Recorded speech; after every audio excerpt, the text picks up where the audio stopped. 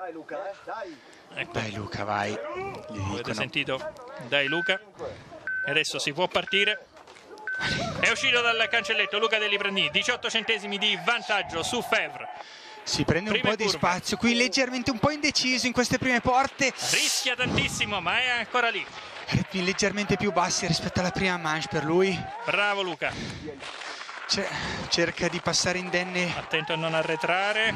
Molto stretto su quella prima porta della lunga. 26 centesimi, eh, ha perso tanto. Infatti i ritmi avevi ragione, un po' Sì, più ha bassi perso rispetto un alla po' prima. di tempo. Ancora, ancora è lunga qui. È un po' in difficoltà, ha perso per un attimo l'esterno. Sì, un'azione un po' più, più statica, più rigida, più conservativa. Dai, dai, dai, dai Luca.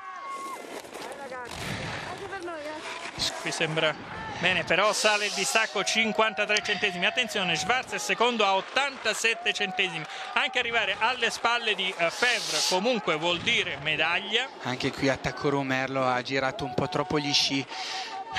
C'è la, la tensione, Luca, c'è un po' di tensione. 55 centesimi, però siamo Dai, ancora dai. in zona medaglia. Deve arrivare davanti a Schwarz che ha 87 centesimi di eh, ritardo. Linee strette per lui, alte in uscita. Spero che siano le più veloci. Qui si può Forza. Luca.